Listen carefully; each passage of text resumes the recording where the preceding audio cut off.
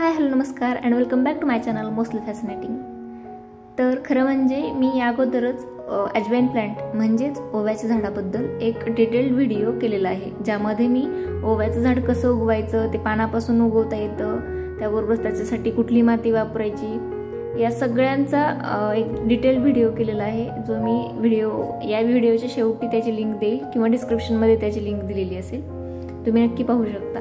आजचा हा व्हिडिओ आहे तो म्हणजे रिपोर्टिंग करते मी. माझ्याकडे हे ओव्याचं झाड होतं हे जवळपास आता याला लावून दोन वर्ष झालं. हे खूप छान आलं होतं. लावताना फक्त याचे एक फांदी लावली होती आणि त्याच्यापासून हे एवढं झाड छान ग्रो झालं होतं. पण आत्ता त्याला काही कारणास्तवमध्ये काही काळजी घेता आली नाही त्या झाडाची आणि ते व्यवस्थित ग्रो नव्हतं होत. तर म्हणून मी ते रिपोर्ट करते. तर आजचा व्हिडिओ हा फक्त तेवढाच आहे.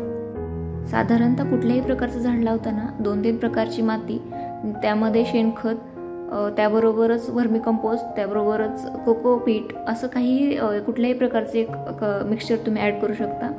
आणि त्यामध्ये झाड लावलं तर ते अगदीच म्हणजे बेस्ट रिझल्ट देतं नेहमीच. तर रिपोर्टिंग करताना या झाडाचं मी मुळासकट घेतलेलं नाही त्याच्या फांद्या वेगवेगळ्या केल्या आणि त्या लावलेल्या आहेत.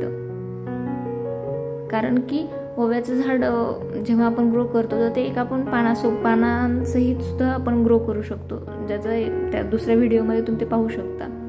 तर म्हणजे याचं प्रोपगेशन करणं खूप सोपं आहे. इझी आहे आपण हे झाड पाण्यामध्ये सुद्धा म्हणजे वॉटर प्रोपगेशन सुद्धा तुम्ही करू शकतात. किंवा एका पानापासून सुद्धा तुम्ही एक नवीन झाड उगवू शकतात. तुम्ही तो दुसरा व्हिडिओ पाहिला तर तुम्हाला याच्याबद्दल आणखीन माहिती मिळेल. हे झाड लावल्यानंतर मी त्याला म्हणजे केळीची साल जी असते तर ती साल पाण्यात भिजवून मग ती दोन दोन दिवसानंतर त्या सालीचे पा पाणी जे राहतं खाली त्यामध्ये आणखीन एक्स्ट्रा पाणी ॲड करून ते जे टॉनिक होतं ते दिले.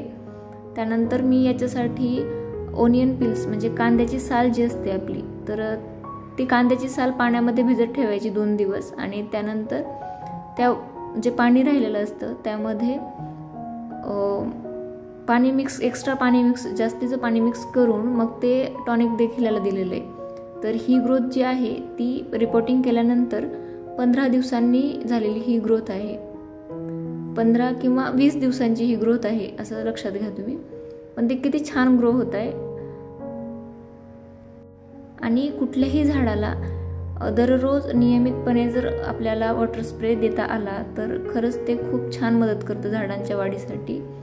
ते झाडांची पानं तर टवटवीत ताजे असं तर दिसतातच पण डेली जरी नाही झाला नियमित जरी नाही झाला तरी एक दोन दिवसानंतर असं करून पण निम ऑइल स्प्रे किंवा फक्त वॉटर स्प्रे जरी दिला तरी झाडांना ते खूप फायदेशीर ठरतं. तर ही साधारणतः वीस दिवसानंतरची वाढ आहे झाडाची झालेली. तर तुम्ही पाहू शकता नवीन नवीन त्याला खालूनच नवीन नवीन रोपं उगवलेली दिसत आहेत आणि झाडाचे पानं जे आहेत नवीन येणारे ते असे मोठ्या आकाराचे येत आहेत.